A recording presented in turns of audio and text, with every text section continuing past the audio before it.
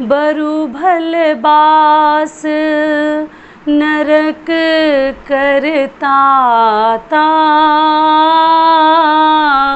दुष्ट संग जनी देई विधाता। राम सिया राम सिया राम, जय जय राम। नमस्कार दोस्तों, मैं हूँ ममता तिवारी और आप सभी का स्वागत करती हूँ मेरे चैनल ममता वे में। कैसे हैं आप सब? तो ये बताने के लिए कमेंट बॉक्स में हमेशा की तरह जय माता दी अवश्य लिखिए।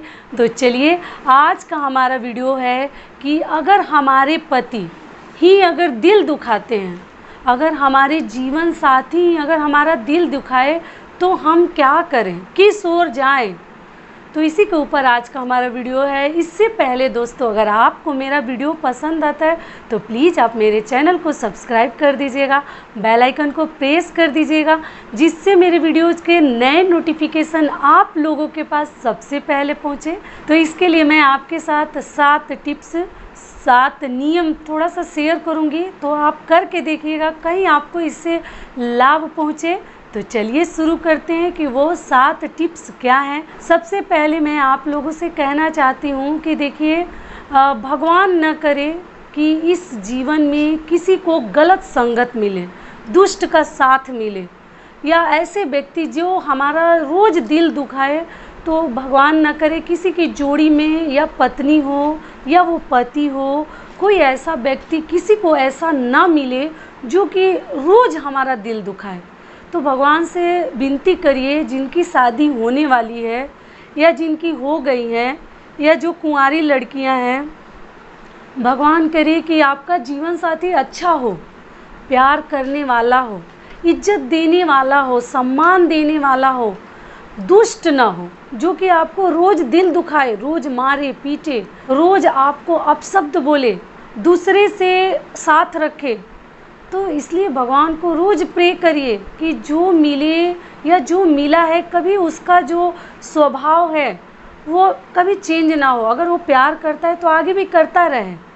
ऐसा ना हो कि आज वो कर रहा है, फिर कल किसी की नज़र लग गई और फिर वो आदमी हमें अच्छे से हमारा रिस्पेक्ट नहीं कर रहा है। रोज़ हमें दो बात सुना रहा है, हमारा दिल दुखा रहा है, अपमान कर रहा है और लास्ट बात है कि हमें मार भी रहा है।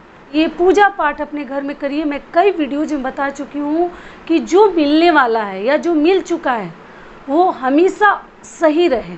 उसका रास्ता कभी बिगड़े ना। कहा गया ना कि भगवान दुष्ट का संग किसी को ना दे। दुष्ट संग जनि दे विधाता। जो एक चौपाई है रामायण की, मैं आपको सुना देती हूँ कि, बरु भले बास नरक करता दुष्ट संग जनी दे विधाता। तो भगवान न करे कि किसी को दुष्ट का संगत मिले, जो दुष्ट रोज आपको पीड़ा पहुँचाए।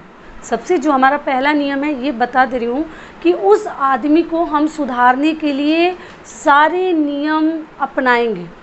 जितनी हमारे अंदर क्षमता है, जितनी कैपेसिटी है, उसको सुधारने में हम जी जान लगा देंगे। ऐसा नहीं है कि हर जगह पति ही गलत होते हैं। पत्नियाँ भी सब सही नहीं होती। पत्नियाँ भी, ऐसा नहीं है कि सब पत्नियाँ अच्छी ही होती हैं, दिल नहीं दुखाती हैं। तो इसीलिए हम लाख कोशिश करेंगे कि वो आदमी सुधर जाए, अपनी तरफ़ से। मान लीजिए, सबको जीवन साथी अच्छा ही नहीं मिलता।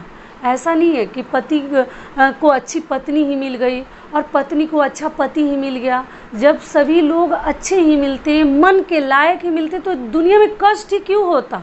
तब तो कष्ट ही नहीं आता, कोई दुखी ही नहीं होता, कोई किसी को अपमान ही नहीं करता।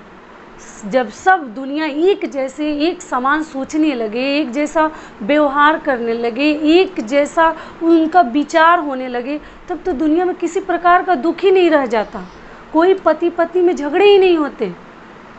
तो यही बात है कि मान लीजिए कि अगर उस तरीके का आपका जीवन साथी नहीं है पति पत्नी दोनों के लिए, पत्नी वैसी नहीं है या पति वैसा नहीं है तो सबसे पहला नियम है कि आप उनको सुधारने की पूरी कोशिश करिए।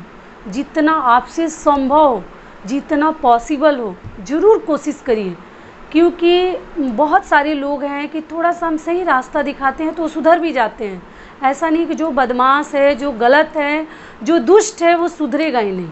ऐसा नहीं। है तो थोड़ा सा हम सबसे पहले कोशिश करेंगे, क्योंकि कोशिश करने वाले की हार नहीं होती। तो ये हमारा पहला नियम हो गया। दूसरा नियम क्या है? दूसरा टिप्स क्या है कि मान लीजिए कि जिसका जीवन साथी अच्छा नहीं है। क्योंकि आप लोगों के बहुत सारे कमेंट्स आते हैं कि दीदी हमारे हस्बैंड हमें प्यार ही नहीं करते, हमें रिस्पेक्ट ही नहीं देते, केवल हम ही देते हैं। मैम हमारे हस्बैंड हमें, हमसे सीधे मुँह बात ही नहीं करते, बिल्कुल प्यार नहीं करते। तो बताइए कौन सी अच्छी बात है? ये जितने पति सुन रहे हैं, उनके लिए बता दे रही हूँ, जो अपनी वाइफ का रिस्पेक्ट नहीं करते तो कभी जीवन में सफल व्यक्ति बनने का उम्मीद छोड़ दीजिए। क्योंकि जो अपने घर की गृह लक्ष्मी, अपने घर की लक्ष्मी का आदर नहीं करता, वो आदमी आगे कैसे बढ़ेगा? बढ़ ही नहीं सकते। भले लाखों कोशिश कर लीजिए सफलता हासिल करने के लिए, रात दिन एक कर दीजिए, लेकिन आपके घर की गृह लक्ष्मी अगर खुश नहीं है तो आप कभी आगे नहीं बढ़ सकते। कभी ऐसा नहीं है कि आप बहुत अधिक, बहुत ऊंचाइयों तक जा सकते हैं, कुछ भी नहीं कर सकते। बहुत आगे बढ़ेंगे कुछ दिनों तक। लेकिन ऐसा नहीं है कि बहुत ऊंचाइयों पे पहुँच जाएँगे और इधर वाइफ जो है बिलख रही है। तो ये बहुत गलत है। जितने पति हैं, उनके लिए मैं बता देती हूँ। और आप लोग का ये भी कमेंट आता है कि हमारे हस्बैंड का दूसरे से साथ है। हमारी वाइफ का दूसरे से संगत है, दूसरे से रिलेशन है। तो ये बहुत गलत है। मैं कई वीडियोज़ में बता चुकी हूँ कि अपने पति के होते हुए, अपनी पत्नी के होते हुए अगर आप तीसरे के साथ अगर इन्वॉल्व हैं, तीसरे के साथ रिश्ता रखे हैं तो जीवन में बहुत बड़ा पाप कर रहे हैं। बहुत बड़ा पाप, जिसका कोई प्राश्चित नहीं है। अपनी वाइफ रहते हुए, अपना हस्बैंड रहते हुए अगर आप धोखा दे रहे हैं तो आप सोच रहे हैं कि कोई जान नहीं रहा है। जैसे कोई देख नहीं रहा है। लेकिन जानते हैं ना, पाप कभी छुपता नहीं है। ये मत सोचिए कि कोई नहीं देख रहा है। भगवान सब न्याय करने वाले हैं। और कोई देखे, ना देखे आस पड़ोस देखे, ना देखे वाइफ जाने, ना जाने हस्बैंड जाने, ना जाने, लेकिन भगवान सब देख रहे हैं। तो भगवान से डरिए थोड़ा सा ज़रूर डरिए। फिर आदमी सोचता है कि अरे, हम तो इतना पुण्य प्रताप कर रहे हैं, इतनी दान उपदान कर रहे हैं, फिर हमारे घर में बढ़ोतरी क्यों नहीं है? हम आगे क्यों नहीं बढ़ रहे हैं? तो इसीलिए धोखा देना बंद कीजिए जीवन साथी को। तो ये हो गया हमारा दूसरा नियम कि अगर धोखा देंगे तो जीवन में सुखी नहीं रह सकते हैं। कोई भी हो, वो पति हो या पत्नी हो। और तीसरा जो टिप्स है, थोड़ा सा मैं आपको बता दे रही हूँ। आप लोग बिल्कुल चिंता मत कीजिएगा, हस्बैंड हो या वाइफ हो, कोई भी हो। अगर जीवन साथी या पति या पत्नी दिल दुखा जाए तो कुछ देर के लिए शांत हो जाइए, चुप हो जाइए। वहाँ मार, लड़ाई, झगड़ा करने की कोई ज़रूरत नहीं है। मुँह लग के झगड़ा करने की कोई ज़रूरत नहीं है कि वो चार बोले तो हम ज़रूर बोलेंगे। ये सब बिल्कुल मत कीजिए। बिल्कुल चुप हो जाइए, शांत हो जाइए और थोड़ा देर के लिए आप अपने पूजा मंदिर में जाके बैठ जाइए। अगर मान लीजिए दिमाग काम करना पूरा बंद कर दिया है कहीं कोई रास्ता नज़र नहीं आ रहा है और सामने वाला दिल पे दिल दुखाए जा रहा है तो आप वहाँ से कुछ देर के लिए हट जाइए। वहाँ खड़ा होके मुँह लग के झगड़ा करने की कोई ज़रूरत नहीं है। शांत हो जाइए, क्योंकि शांति बहुत ज़रूरी है। मैं अपनी वीडियो में बताई भी हूँ कि दोनों को साथ में गुस्सा नहीं होना है। गुस्सा आए भी तो थोड़ा कंट्रोल कीजिए। और आप कुछ देर के लिए अपने पूजा रूम में चले जाइए या पूजा के स्थान पे चले जाइए और आप अपने घर में एक रामायण जी का बुक अवश्य रखिए। एक रामायण जी की जो पुस्तक आती है बड़ी और छोटी साइज़ में, वो आप ज़रूर रखिए और कुछ देर के लिए आप रामायण पढ़ना शुरू कर दीजिए। अगर कोई आपका दिल दुखाया है, बहुत दिल में दर्द है, बहुत मन में जैसे आँसू आ रहा है, दिल टूटा जा रहा है तो कोई बात नहीं, आपको ताकत कहाँ मिलेगी? वो चीज़ आप अपने पूजा रूम में बैठ के रामायण पढ़ना, दिया जला के शुरू कर दीजिए। ऐसा नहीं है कि हम उसके साथ झगड़ा, लड़ाई, जवाब, सवाल उस समय पे करें।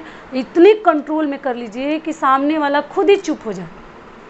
तो इसलिए अगर कोई दिल दुखाता है, जीवन साथी आपका, पति या पत्नी, आप रामायण पढ़ना शुरू कर दीजिए।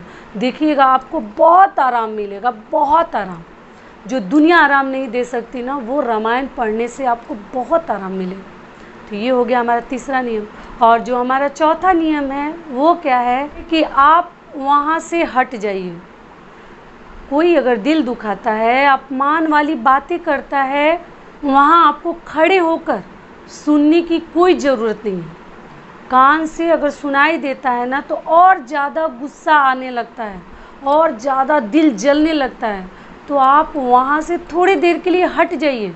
जितना उस आदमी को चिल्लाना है, कहना है, दिल दुखाना है, अपमान करना है, आप वहाँ से एकदम मुँह में ताला लगा के वहाँ से हट जाइए।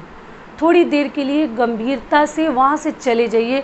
बिल्कुल आप वहाँ खड़ा मत रहिए कि वो आदमी और भी ज़्यादा आपका इंसल्ट करे, अपमान करे। तो इसलिए आप वहाँ से हट जाइए। तो ये हो गया हमारा चौथा नियम। पांचवा टिप्स क्या है? कि कभी भी हस्बैंड वाइफ के झगड़े में तीसरे को इन्वॉल्व मत कीजिए। वो आदमी कितना भी आपका खास क्यों ना हो, कभी नहीं। हस्बैंड वाइफ के झगड़ा को हस्बैंड वाइफ ही सुलझा ले तो ज़्यादा अच्छा है। अगर पति पत्नी में कोई दिल दुखाता है तो तुरंत किसी से कुछ बताइए मत।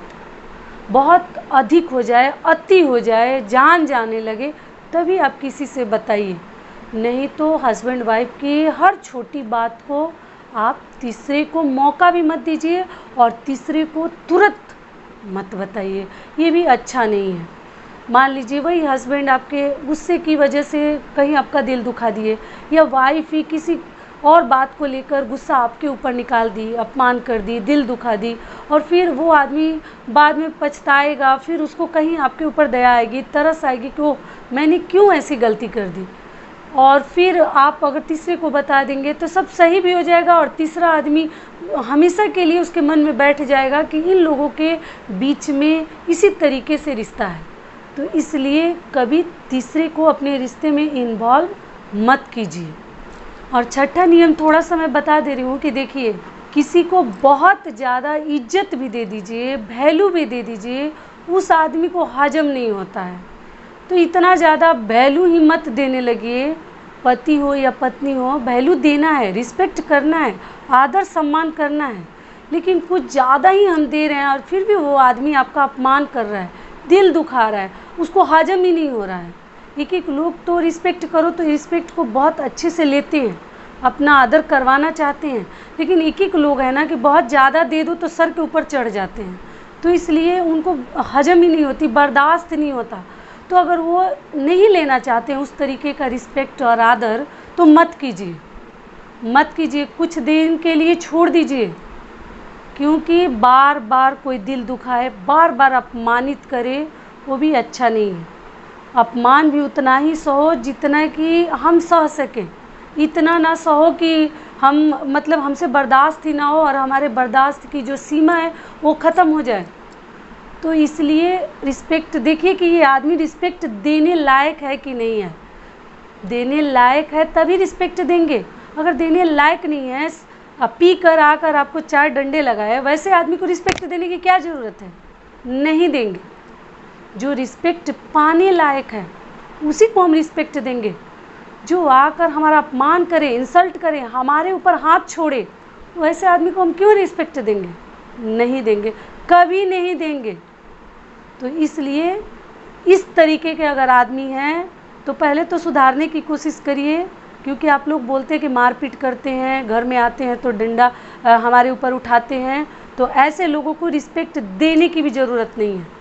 मैं जहाँ सिखाती हूँ, जहाँ मैं बोलती हूँ कि विष्णु भगवान मानिए और पति को, पत्नी को लक्ष्मी जी मानना चाहिए, वहीं मैं सिखाऊँगी कि अगर वो आदमी आपका रिस्पेक्ट नहीं करता, आपके ऊपर हाथ उठाता है, डंडे उठाता है तो हम कभी विष्णु भगवान नहीं मानेंगे। क्यों मानेंगे? हम भगवान का आपको दर्जा दे रहे हैं आपका आप, सम्मान किए जा रहे हैं और आप हमारा अपमान किए जा रहे हैं हमारा दिल तोड़ रहे हैं तो हम कभी नहीं देंगे। तो ये हो गया हमारा छठा नियम। सातवां नियम क्या है? कि अगर जीवन साथी आपका दिल दुखाता है पति पत्नी में कोई भी हो तो आप कुछ दिनों के लिए उनसे गंभीर रहिए। ज़्यादा चढ़ चढ़ के बोलने जाने की कोई ज़रूरत नहीं है। जो हमसे बोल नहीं रहा है, हम कोशिश करेंगे। पहले मैं कई वीडियोस में सिखा चुकी हूँ, बता चुकी हूँ कि अगर लेडीज़ ही नरम हो जाए, थोड़ा झुक जाए और रिश्ता हमारा ख़राब ना हो तो ठीक है, कर लेंगे, कोई बात नहीं अपने रिश्ते को बचाने के लिए झुकना ही सबसे सही रास्ता है। लेकिन अगर जीवन साथी रोज़ दिल दुखाता है रोज़ अपमान करता है तो कुछ दिनों के लिए गंभीर हो जाइए। ये भी मैं बताऊँगी। ऐसा नहीं है कि आप रोज़ हमारा अपमान करेंगे और फिर मैं आपको झुक के बोलने जाऊँगी। झुक के बोलने जाऊँगा तो कुछ दिनों के लिए गंभीर हो जाइए। चुप रहिए। जितना ज़रूरत है उतना ही बोलिए हस्बैंड से, उतना ही बोलिए वाइफ से। खुद ही सबक सीख लेंगे। क्योंकि बहुत ज़्यादा सम्मान भी दे देते हैं ना। तो लोगों को पचता नहीं है। तो इसलिए कुछ दिन के लिए गंभीर हो जाइए, मन नहीं लगता है तो टीवी देखिए, मोबाइल देखिए, गाना गाइए। सबसे बढ़िया जो उपाय मैं बता देती हूँ कि कभी भी मन उदास हो, किसी ने अपमान किया है, दिल तोड़ा है तो थोड़ा सा आपको गाना गाना चाहिए। जो ही गाना आपको पसंद है, जो याद है, उस गाना को थोड़ा सा गुनगुनाइए जोड़ों से गाइए। सामने वाला खुद ही जलेगा। तो इसलिए थोड़ा सा गाना गाइए। तो यही हमारे कुछ सात टिप्स थे, नियम थे।